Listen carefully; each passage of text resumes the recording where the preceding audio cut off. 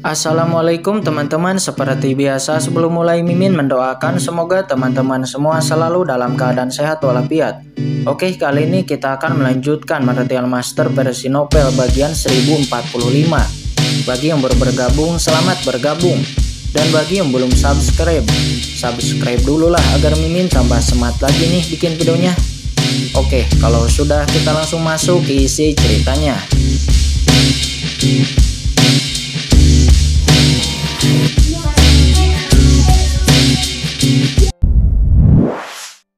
kuat seperti itu di dunia ini.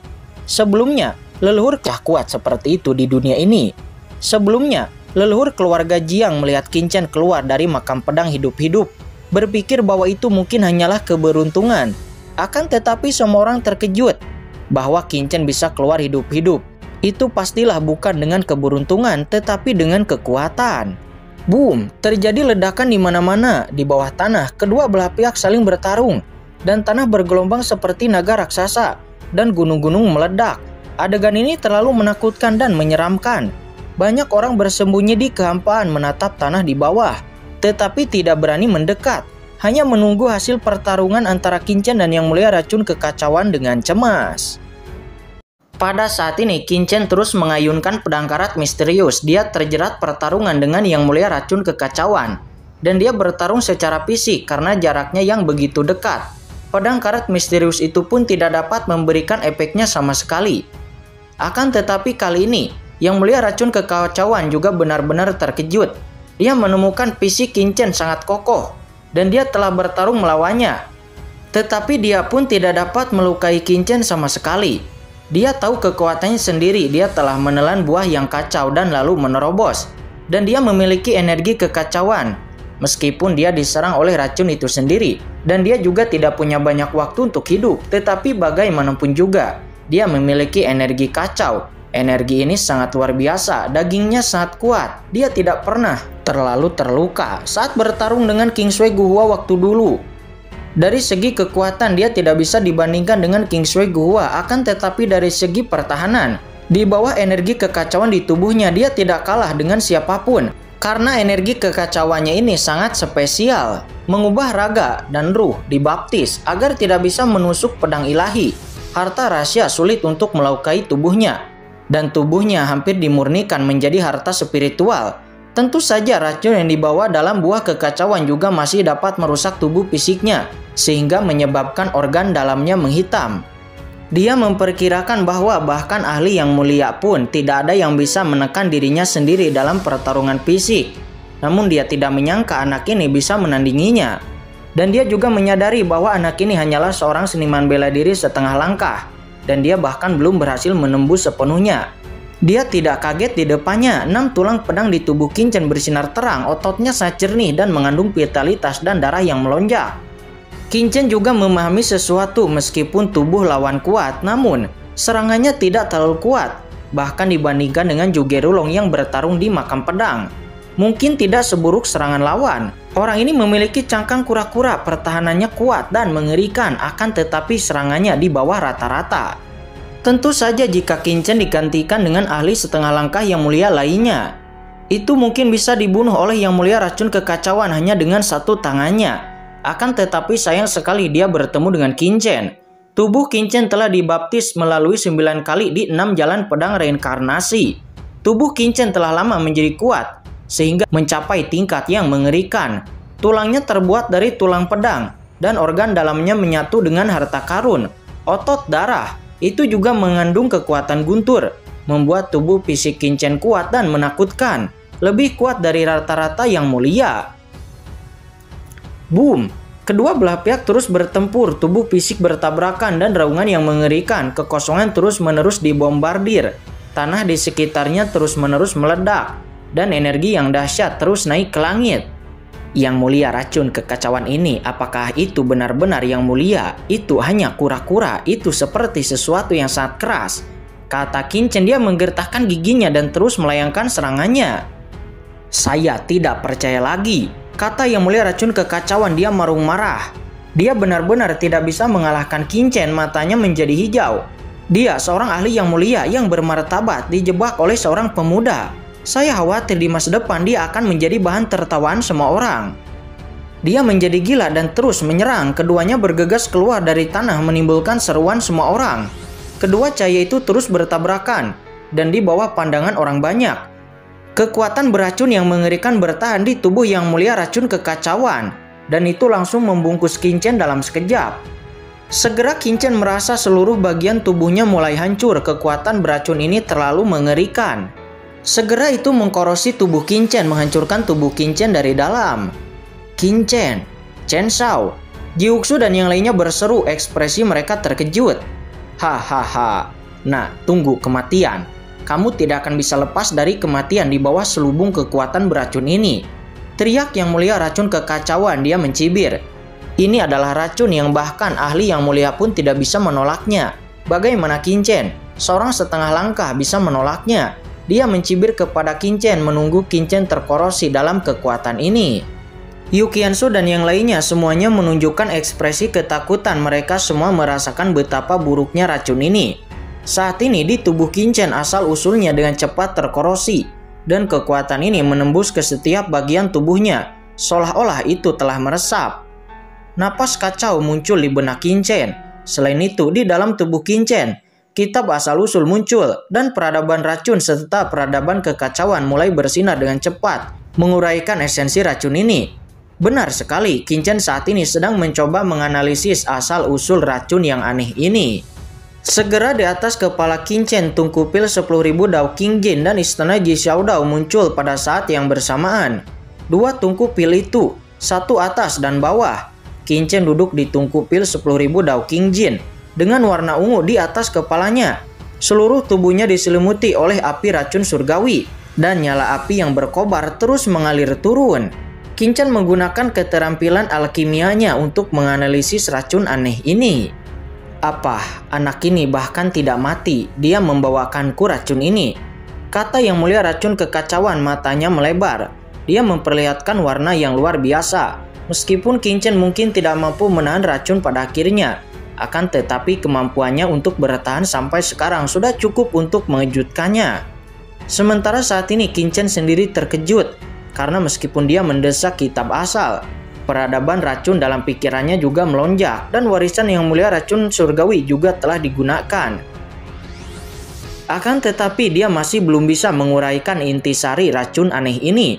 Racun aneh ini Seolah-olah surga hidup di langit dan di bumi. Itu mengandung kebenaran tertinggi dari surga dan tidak mungkin dikendalikan dengan mudah.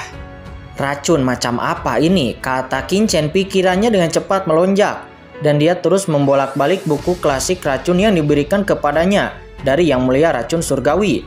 Dia berharap untuk mengetahui asal-usul sebenarnya dari racun ini. Sementara di samping yang mulia racun kekacauan telah melihat bahwa Kincen sebenarnya telah menolak invasi racun miliknya. Dan kemudian dia menus dingin. Dia tidak peduli lagi kepada Kincen, tetapi kemudian dia menyerang ke arah keluarga Kingsway di bawah. Denganku di sini, kamu tidak akan bisa melakukan apa pun kepada keluarga Kingsway. Kata Kincen dia menus dingin. Sambil menganalisis racun aneh ini, dia juga mendesak istana Ji Xiaodao dan langsung membombardir yang mulia racun kekacauan. Heh, kamu tidak bisa melindungi dirimu sendiri sekarang, dan kamu masih ingin melindungi orang lain. Kata yang mulia racun kekacauan dia mencibir dengan jijik dan lalu menepuk telapak tangannya ke arah istana Xiaodao. Akan tetapi pada saat itu, tiba-tiba napas waktu yang tak terlihat berputar antara langit dan bumi. Seketika, aturan waktu di dunia ini sepertinya mengalami stagnasi untuk sesaat dan boom, Seketika itu, di bawah aturan waktu, istana Jishaodao itu langsung menghantam tubuh yang mulia racun kekacauan dan mengguncangnya.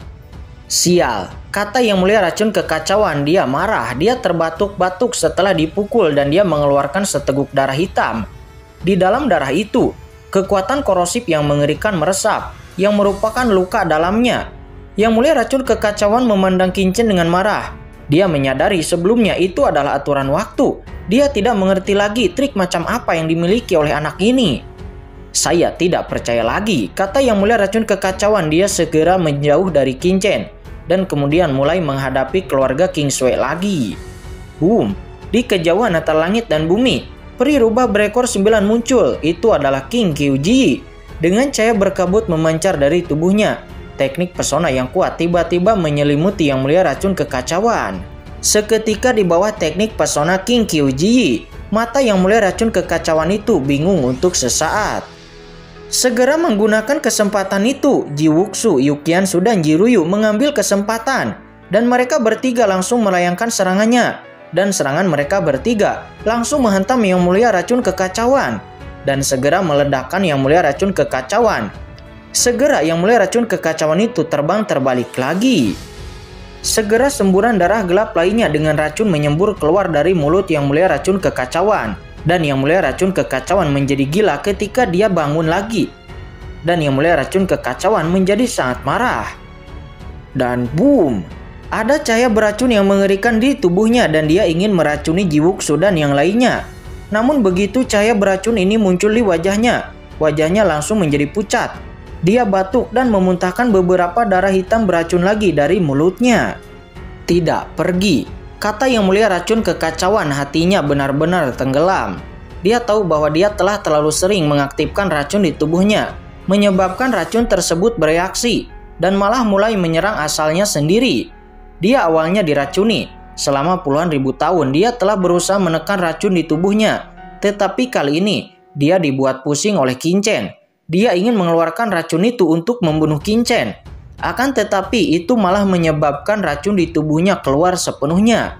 Saat ini kulit di tubuhnya mulai membusuk dan rasa sakit yang tajam langsung menjalar ke dalam pikirannya, menyebabkan dia mengaum kesakitan.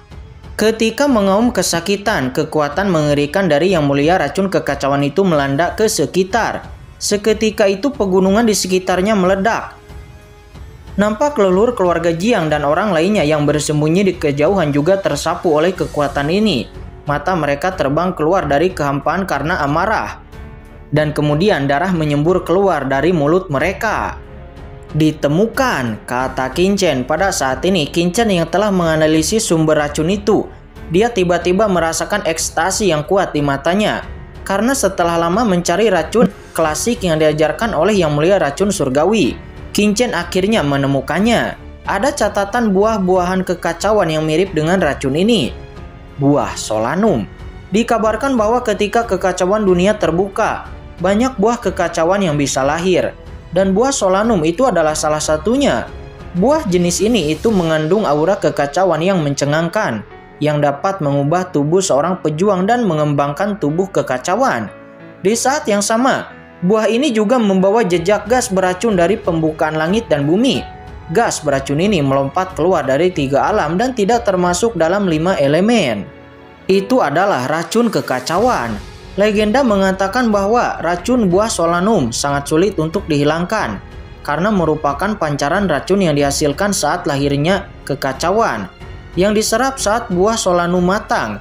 Meskipun hanya menyerap sedikit saja, tetapi hal itu tidak mudah untuk dihilangkan karena itu dilahirkan dengan surga dan jalan surga, dilahirkan dan dibesarkan yang merupakan kesayangan segala sesuatu.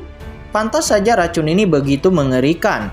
Legenda mengatakan bahwa Bahkan sedikit pun racun semacam itu dapat meracuni para penguasa tertinggi dan tidak ada aturan yang dapat melenyapkannya.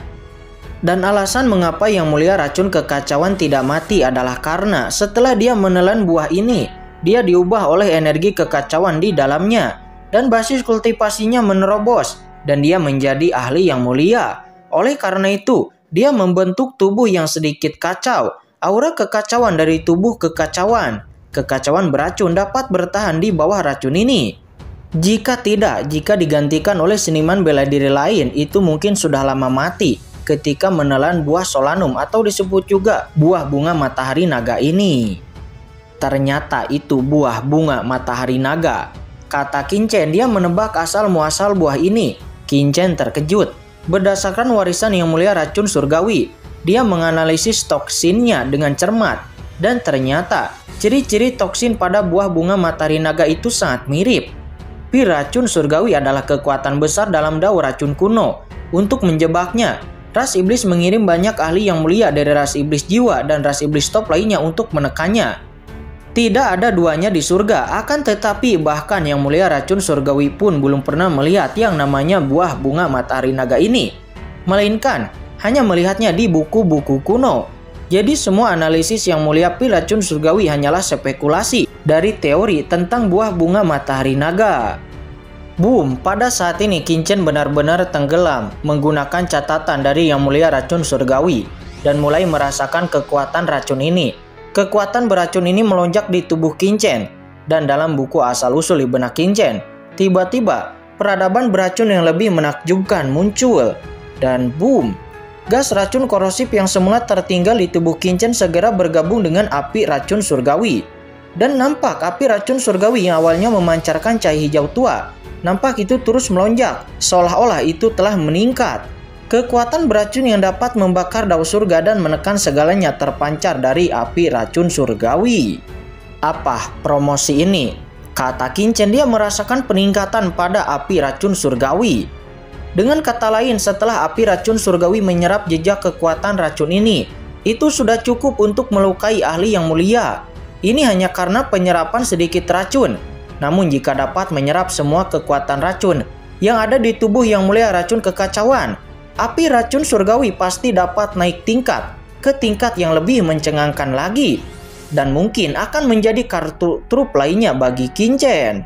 Tiba-tiba, mata Kincen menatap yang mulia racun kekacauan dan ada cahaya redup di matanya. Orang ini adalah harta karun yang besar. Karena entah itu energi kekacauan di tubuhnya atau racun buah solanum itu benar-benar berlawanan dengan langit. Saat ini yang mulia racun kekacauan merasakan tatapan Kincen. Wajahnya berubah menjadi hijau karena mata Kincen terlalu menakutkan dan tajam ketika melihatnya. Itu menatapnya seolah-olah Kincen melihat keindahan yang tiada tara. Tatapan Kincen sangat tajam melihatnya seperti melihat harta karun. Itu tidak benar. Yang mulia racun kekacauan langsung bingung. Saat itu, dia adalah pria tampan, tetapi sekarang dia adalah pria yang buruk rupa. Untuk apa anak itu menatapnya seperti ini? Tiba-tiba yang mulia racun kekacauan menatap Kincen, kulit kepalanya mati rasa, seluruh tubuhnya berdiri, dan cahaya mengerikan keluar dari pupil matanya. Dia menatap Kincen dengan tidak percaya. Bocah kecil, bagaimana racun di tubuhmu bisa hilang? Kata yang mulia racun kekacauan, dia tidak bisa mempercayainya. Karena racun yang dia bungkus kepada Kincen sebelumnya saat ini telah perlahan menghilang dengan cepat. Bagaimana itu bisa terjadi? Dia sangat yakin racun di dalam tubuhnya sangat mengerikan. Bahkan ahli yang mulia pun mungkin tidak akan dapat dengan mudah membuangnya. Jiwuksu, Raja Iblis Liger dan yang lainnya sebelumnya diracuni, masih membusuk di seluruh kulitnya dan wajah mereka berwarna hijau karena mereka tidak bisa menyingkirkannya. Mereka hanya bisa melawan lalu membiarkannya hilang dengan sendirinya. Akan tetapi pada saat ini, racun di tubuh Kincen secara aktif menghilang. Seolah-olah itu diserap ke dalam tubuhnya sedikit demi sedikit. Apakah ini yang kamu bicarakan? Kata Kincen seraya mendesak api racun surgawi. Dia tersenyum tipis di sudut mulutnya. Dan tiba-tiba, racun hijau berkabut perlahan naik ke tangan Kincen seperti untayan asap biru itu terus berputar. Bagaimana kamu bisa melakukannya? Kata yang mulai racun kekacauan dia berkata dengan takjub. Kulit kepalanya mati rasa dan bulu kuduknya merinding. Selama bertahun-tahun dia telah mencoba yang terbaik untuk menemukan cara untuk menahan racun ini. Akan tetapi setelah bertahun-tahun dia tidak pernah menemukan caranya. Namun sekarang bagaimana Kincen melakukannya dalam waktu sesingkat itu? napas yang mulia racun kekacauan langsung menjadi terengah-engah. Jika dia bisa mendapatkan metode Kincen untuk mengendalikan racun ini, maka